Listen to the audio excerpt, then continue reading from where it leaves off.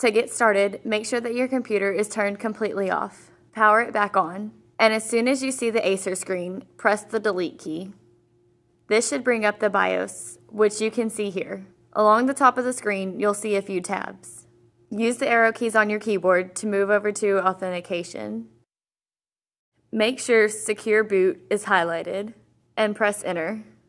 Then move down and select Disabled and press Enter again. Now use your arrow keys to move over and select Boot Options.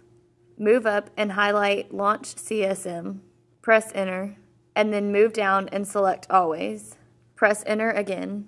And finally, press F10 to exit and save the changes. Yes should already be highlighted. Press Enter, and your computer will restart. If you have any questions, please visit our website, www.acer.com.